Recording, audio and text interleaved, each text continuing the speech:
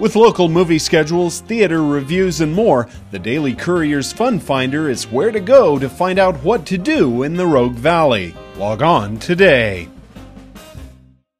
Margot Terrell hasn't lived in her native Germany for more than 50 years, but she surrounds herself with the sights and sounds of her homeland. Terrell is an accomplished entertainer who plays traditional German music on the accordion, sings in an authentic Bavarian dialect, and is a self taught yodeler. Now sit back and enjoy while Terrell plays one of her songs. Hello, my name is Margot Terrell, and uh, I just want to do a few little numbers for you and uh, show you the yodeling and the, the singing and uh, a little bit of accordion playing. I was born and raised in Germany, came here in 1951, and uh, we've been here in Grants Pass for 16 years now.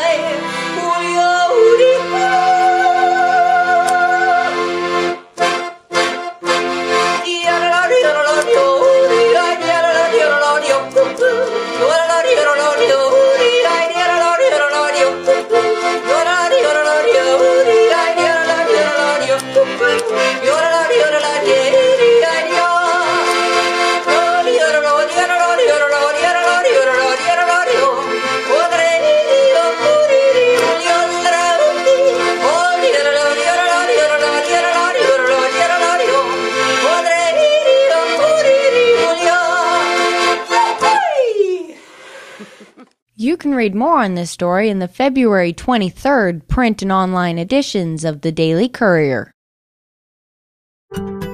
Keep an eye on Grants Pass with the Daily Courier's webcams located on the Rogue River, in downtown Grants Pass, and at the Rogue Valley Humane Society.